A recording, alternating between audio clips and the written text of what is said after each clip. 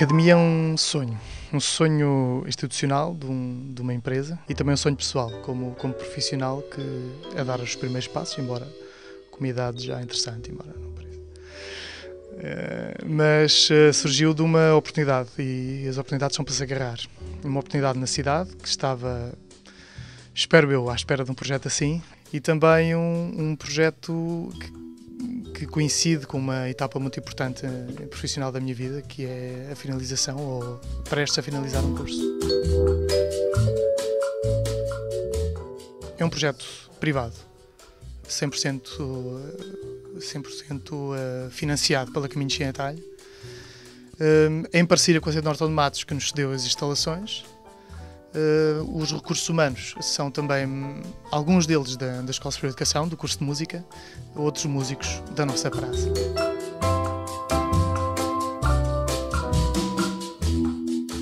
A maioria do, dos professores que estão aqui, além de terem a formação específica, um dos fatores muito importantes para a escolha deles é eles terem palco, terem experiência de palco e estarem habituados a tocar tocar para os outros, que é uma das, uma das práticas fundamentais do músico. Estar a tocar numa sala é fantástico, mas uh, estar a tocar para outros é um desafio. E, estar, e saber comunicar aquilo que nós fazemos ainda é outro. Vamos apostar muito na iniciação e vamos apostar nos primeiros passos através da expressão musical e na, no encaminhamento, por assim dizer, pedagógico para a descoberta através do instrumento.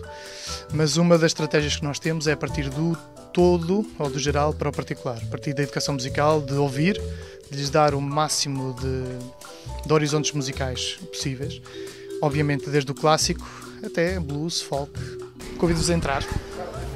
Força! Aqui é a sala, de, sala do barulho, sala da banda.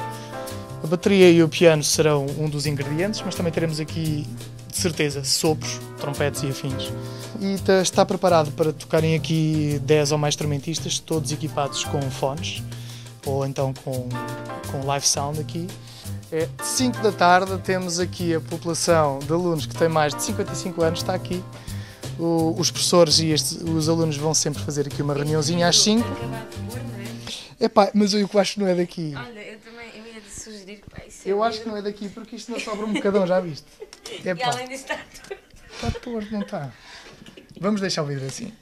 Então aqui é à esquerda temos a sala de multiusos.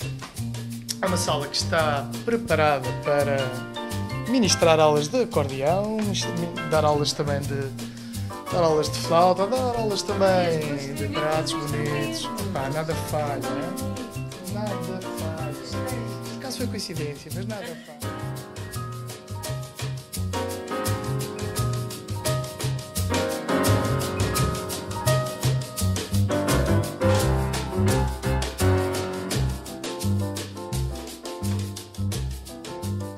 O Centro Norte de Matos tem, tem um bom espaço que nós queremos aproveitar, tem um salão.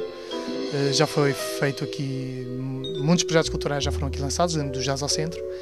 E eh, será um desafio também para nós, Caminhos Sem Atalho, que estamos neste momento eh, a finalizar o protocolo também com, com o Centro, para dinamizarmos culturalmente o espaço e queremos trazer cá não só colocar os nossos projetos e também os nossos miúdos naquele palco, mas também colocar agora uma programação cultural.